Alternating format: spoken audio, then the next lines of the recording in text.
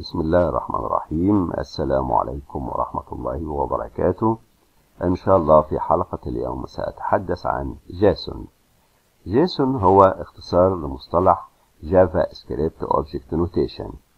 What is JSON? JSON is a lightweight data interchange format. هو عبارة عن تنسيق لنقل البيانات خفيف جدا.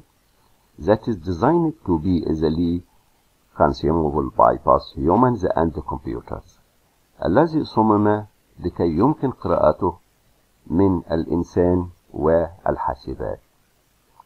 All JSON data structure follow one of two main types. جميع هياكل البيانات الخاصة بالجيسون بتكون أحد النوعين الآتيين. النوع الأول unordered mean value pairs. النوع الأول بيكون في شكل أزواج من الاسم والقيمة. يعني عندنا ميم اسم ويليه القيمة بيفصل بينهما. كله وهذا النوع ممكن يكون dictionaries hash tables objectives key lists. يعني ممكن يكون قواميس أو هاش تيبلز جداول من الهاش أو objectives كائنات أو key lists قوائم مفتاحية. النوع الثاني اسمه ordered list ordered lists اللي هي القوائم المرتبة أو القوائم التسلسلية. والقوائم التسلسلية ممكن تكون arrays مصفوفات lists قوائم vectors متجهات.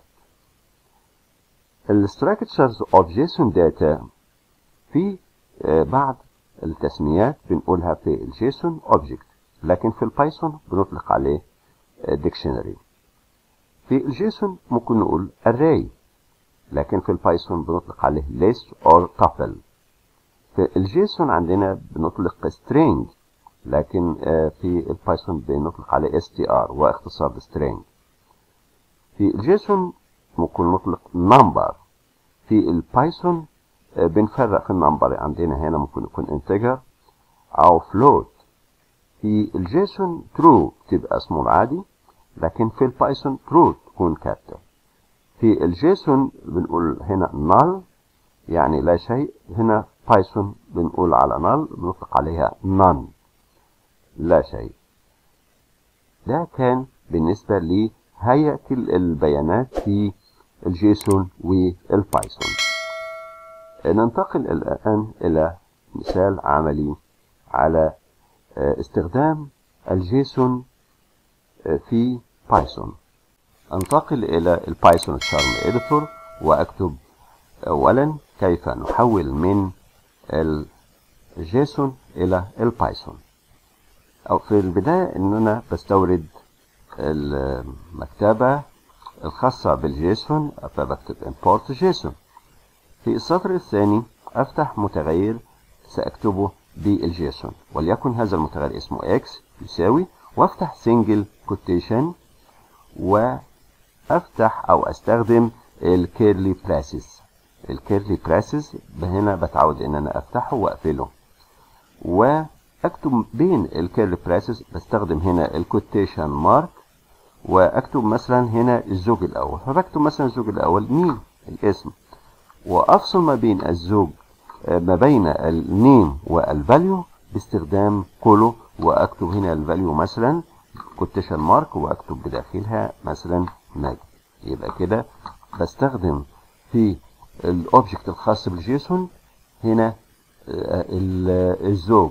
أكتب ال name هنا وبعدين ال value ال name بتاع البيان هنا وبعدين ال value وبعدين هكتب الزوج الثاني فبستخدم comma وأيضا بكتب هنا quotation mark و colon وبعدين quotation mark ثانية ليه؟ لأن بكتب هنا اسم البيان هنا وبعدين قيمته في المكان ده. فبكتب مثلا هنا اسم البيان age قيمته هنا مثلا 30 وبعدها آخد comma. وأكتب الزوج الثالث. وأستخدم هنا quotation mark وبعدين colon وبعدين quotation mark. وأكتب مثلا هنا اسم البيان وليكن country. ونكتب هنا قيمة البيان Egypt. كده أنا كتبت متغير x JSON. هنا في الخطوة الثانية أو الخطوة رقم ثلاثة سأحول هذا ال JSON object إلى بايثون أكتب المتغير y يساوي json. استخدم json اللي أنا سبق استوردتها في الخطوة رقم واحد وأضغط dot واستخدم ال method loads وأكتب اسم المتغير الخاص ب JSON هنا x. في الخطوة الرابعة استخدم عبارة print اطبع ليا y. يعني اطبع ليا المتغير y. أو هذا المتغير عبارة عن نص ال JSON اللي أنا سابق كتبته في ال x click run ونرى النتيجة.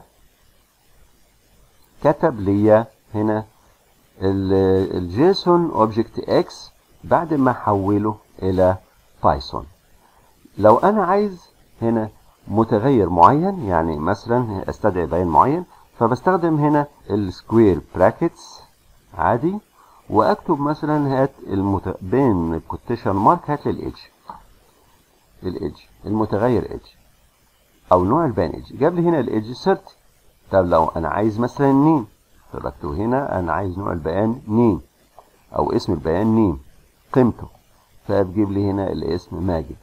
لو عايز مثلا ال country فبكتب له هنا هات لي ال country. نوع البيان هنا country أو اسم البيان country جابه لي Egypt. ده كان بالنسبة لتحويل من JSON إلى Python. لكن لو عايز أحول العكس من Python إلى JSON. أمسح هنا وأعمل نفس الخطوات. أكتب مثلا import JSON. استورد لي مكتبة ال JSON هفتح هنا متغير وليكن اسمه x ولكن هكتبه هنا ك dictionary في ال Python.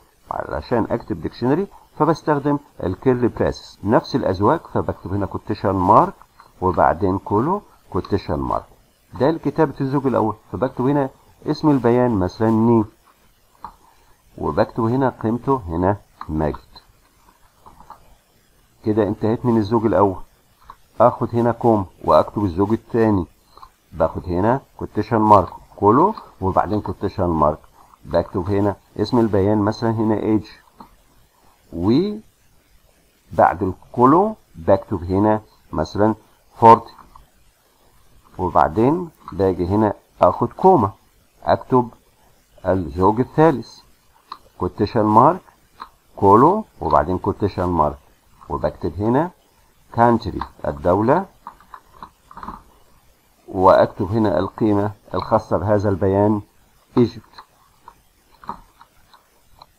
كده أنا انتهيت من كتابة ال dictionary object بال Python في الخطوة رقم ثلاثة سأقوم بتحويل هذا المتغير المكتوب dictionary إلى JSON.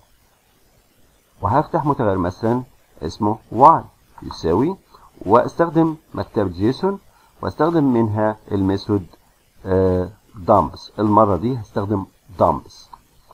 وأكتب بداخله المتغير x الطريقة دي هيحول المتغير dictionary إلى JSON.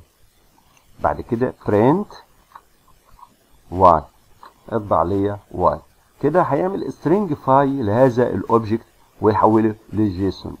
click run ونرى النتيجة. كده حوله وطبع ليا هنا النتيجة في ال output window لنرى الانواع التي يمكن تحويلها إلى JSON. النوع الأول كما رأيت هو الخاص بال dictionary أقدر أحول من ال object الخاص بال dictionary إلى ال JSON. ممكن يكون عندي قيمة. أو قيمة يبقى هنستبدل ال curly brackets بال square brackets دي أضع ال square brackets هنا غير ال curly brackets ب square brackets بضع على طول القيم مباشرة. يعني هنا بحذف ال name وبحذف الايدج وبحذف ال country وبكتب القيم مباشرة داخل ال list. ده الفرق ما بين ال list وال dictionary. وهنا اضغط run يكتب لي القائمة. القائمة طبعا إحنا عارفين بتكون داخل square brackets ممكن أحول أيضا من tuple إلى JSON. tuple طبعا بتبقى مكتوبة بحذف ال square brackets وبكتب كده ال curve ال curve brackets كده حولتها من list إلى tuple. click run. كتب لي هنا في شكل قائمة ماجد forty Egypt ده بالنسبة لتحويل من tuple إلى JSON ممكن أحول string. String فقط يعني ممكن أحذف دي وأكتب مكانها string مثلا ماجد كده أحول من string ل JSON click run طبع لي هنا ماجد ممكن أحول integer رقم يعني مثلا ممكن أكتب هنا 43 click run كتب لي 43 ممكن أحول floating يعني مثلا أكتب 43.6 كليك ران كتب لي 43.6 ممكن احول أحول true يعني مثلا أكتب هنا true brain click run. كتب لي true ممكن أحول false. قيمة false. Click run. يحول لي false. ممكن أحول لي أيضا none click run حولها لي ل null. ده كان إزاي نحول من Python ال variables الخاصة في ال Python سواء ال variables دي dictionaries أو lists أو tuples أو strings أو integers أو true أو false أو قيمة null إلى JSON. إلى ال JSON باستخدام JSON dot dumps ده كان توضيح بالنسبة لاستخدام ال JSON. إن شاء الله في حلقة قادمة سأشرح كيف نستخدم ال JSON في نقل بيانات من خلال ال API calling. السلام عليكم ورحمة الله وبركاته.